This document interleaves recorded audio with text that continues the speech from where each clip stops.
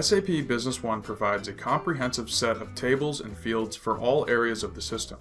However, if you require additional fields for your business processes, you can create your own user-defined fields.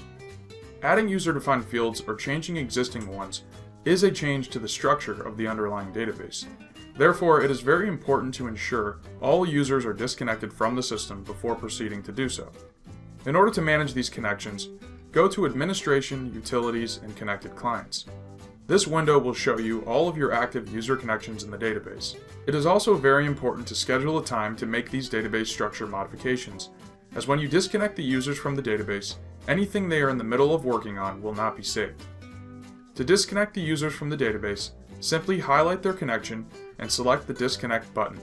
You can hold down the Shift key to select a range of users if there are multiple connections. To add user-defined fields, go to the Tools option in the toolbar at the top of the system. Then, navigate to Customization Tools and User-Defined Fields Management. In the User-Defined Fields Management window, you will see various categories which represent the different areas of the system you can add a user-defined field to.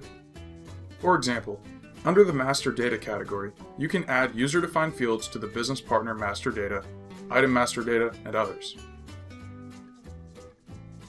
Let's expand the marketing document category to reveal the title and rows subcategory. The title category will add the field to the user-defined field window that appears as an appendage to the marketing document. If we go to the sales order marketing document, we can reveal this main user-defined fields window by going to View and selecting User-Defined Fields. If we add a user-defined field to the rows category in the user-defined fields management window, the field will appear in the rows of the document. Expand the Rows subcategory to see the existing user-defined fields for the rows of our marketing documents.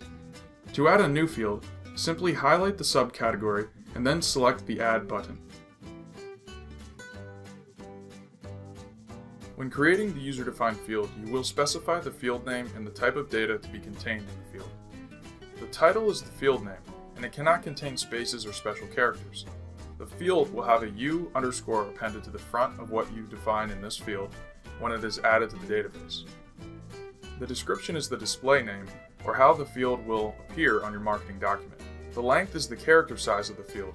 If the field is alphanumeric and regular, the length will be the maximum number of characters of 254. If the field is numeric, the length is one more than the maximum number of digits. For example, you would specify 11 to allow up to 10 digits.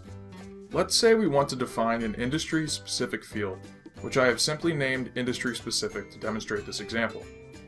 We are also going to leave it as alphanumeric and regular. We can also define valid values for our user-defined field. Valid values are predefined specific selections that must be made when a user is adding data to the field on the marketing document. To add a value, select the New button, then define the value and the description.